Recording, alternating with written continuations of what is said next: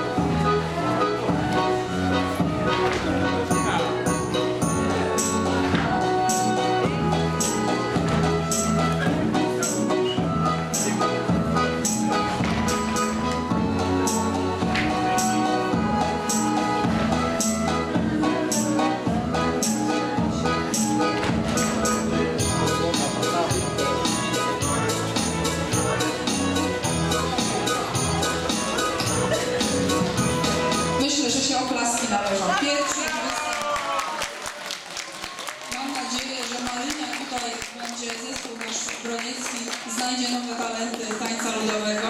Bardzo dziękuję. Teraz poproszę e, najmłodszych wykonawców, żeby zaśpiewali piosenkę. Mam nadzieję, że dzieci wiedzą, co będą śpiewać. Kto będzie śpiewać ręką w górę?